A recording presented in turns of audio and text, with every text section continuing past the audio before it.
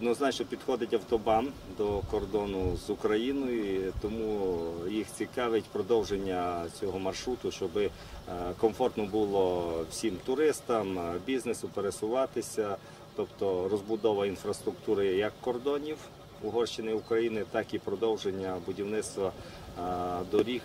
на території України, десь є бачення щодо лобіювання інтересів проведення європейських грантів на будівництво доріг.